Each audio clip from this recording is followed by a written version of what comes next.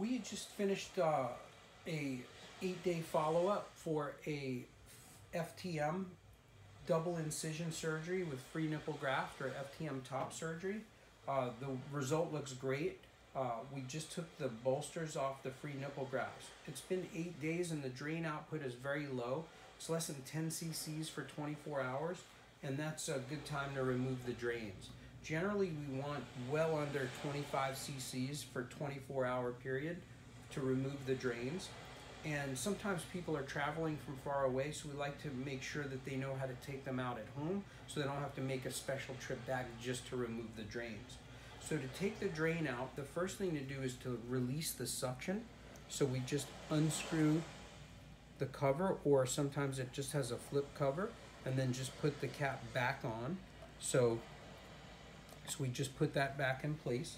And then if there's a little dressing that holds from the drain pulling, we just gently pull that back without tearing the skin.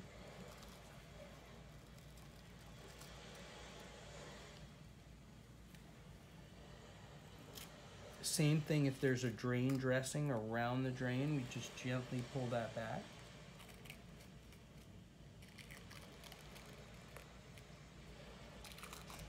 Sometimes it can be a little rough on armpit hair, so I apologize. Awesome.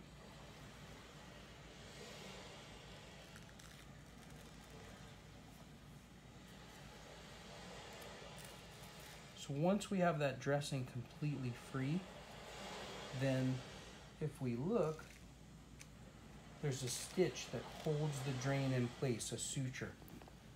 So if you give a little bit of pullback on the drain, the suture should become very easy to see, which I can see right there. If you come underneath the stitch that's around the drain with a fine pair of scissors and cut, it'll release that stitch. Then the drain is free. And then all that has to be done is the drain can be pulled straight out and there'll be some pressure and a weird sensation and the drain will come right out. And just needs steady back pressure. A lot of times there's a little bit of blood clot that comes with the removal of the drain. And we just clean the blood clot up where the drain came out. And we put a little neosporin just around that wound. The uh, incision for the drain will close in about 24 hours. And a lot of times if you cut the stitch right around the drain itself, there's a little piece of stitch left. These stitches do dissolve eventually, but they can be removed right at the skin. All the other stitches are internal, so there's nothing to, to worry about inside. And if we just trim that stitch right as it goes through, then we can actually remove that. Sometimes it's pretty tight against the skin, so we try not to cause too much discomfort in cutting that. So that can come out like that. We just removed the dressings and the drains from an FTM double incision with free nipple graft or top surgery. Uh, the patient's doing great, looking great. The incisions are healing beautiful. The wound care after the removal of the drains and dressings is very simple. So with the kit that we send patients with, it has neosporin or triple antibiotic ointment in it.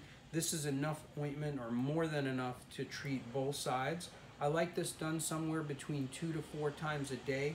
Uh, the compression garment would be over top of this, over top of dressings, and I'm going to show you how to do that now. It's very simple. With a gloved finger, you're just going to take a little bit of that ointment. The ointment goes straight around the free nipple graft and then right over the graft. You do not want to gob the ointment on.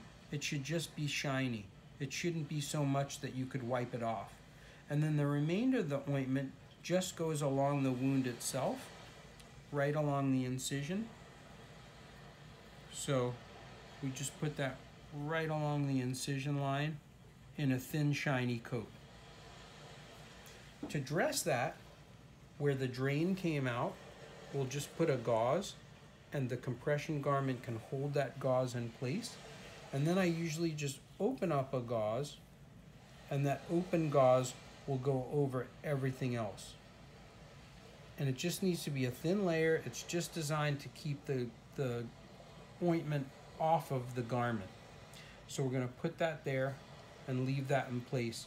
When you remove this in order to shower or to put new ointment on, it needs to be removed very carefully so it doesn't pull the nipple graft off. If it's quite stuck, this can be wet down and let soak a little bit in order to just ease the gauze off of the nipple graft.